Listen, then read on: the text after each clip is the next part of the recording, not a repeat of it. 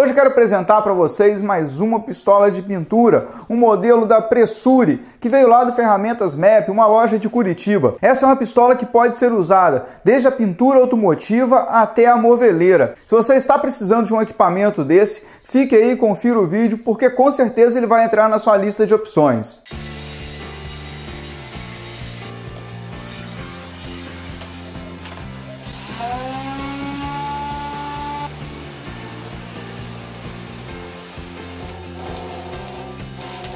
Bom, antes do teste, só para dar um gostinho para vocês. Então vamos lá, vamos abrir, vamos ver o que, que vem nessa caixa, porque essa aqui eu ainda nem abri, ó. Ó, jogo de chave, veio uma chave Allen também, manual de instruções, caneca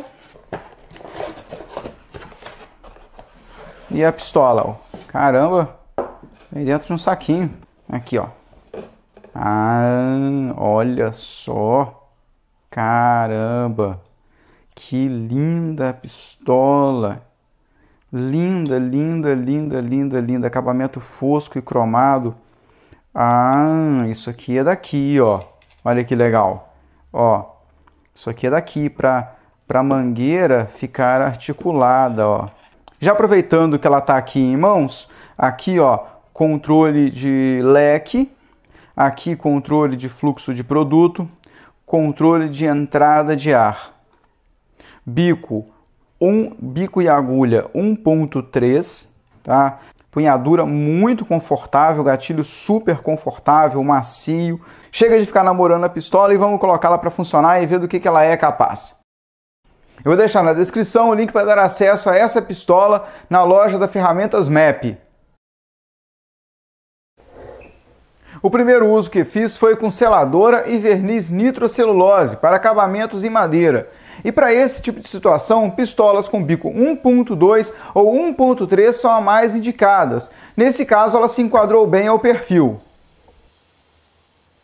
Eu acabo de finalizar a pintura de um pequeno armário usando tinta PU automotiva. E antes de eu demonstrar aqui para vocês o leque dela na, no papel, eu queria deixar alguns comentários. Primeiro, é uma pistola que produz baixíssima névoa, pouca névoa mesmo, o chão ficou limpo, pouca névoa voando. E mesmo eu não tendo um sistema de exaustão aqui, eu tô sem cabine de pintura, mesmo assim não tive problemas. Qualidade impressionante, realmente uma boa qualidade, uma pintura fina, fácil controle, fácil ajuste. Outra coisa que realmente eu achei que foi muito bacana é uma pistola de bico 1.3, o que geralmente é uma pistola não muito rápida, mas é uma pistola de alta produção, uma pistola que você consegue jogar muita tinta em pouco tempo, o que a torna adequada tanto para quem vai fazer pintura de móvel quanto para quem vai fazer funilaria, pintura automotiva. Se você vai pintar um capô de um carro, uma porta ou mesmo um carro inteiro, é uma pistola que você não vai ficar muitas horas trabalhando. Você vai encher a caneca e em poucos minutos ela vai estar tá vazia de novo. Então você pode ficar tranquilo que é uma pistola que vai te dar rendimento e muita produção.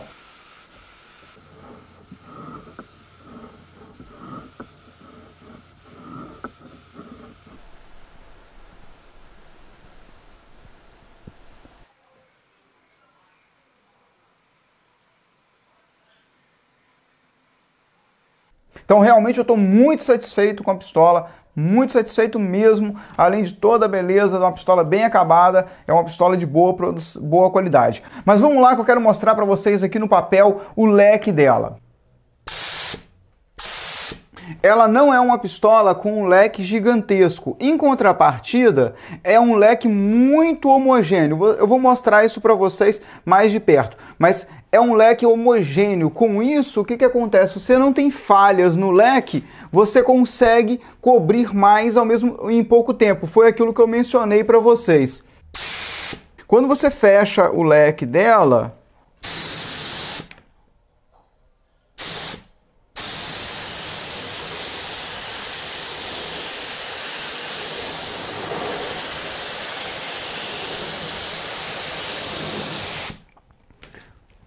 Dá para fazer até pequenos desenhos. Isso aqui é, é, é bem interessante para a gente fazer retoques, fazer pequenos detalhes.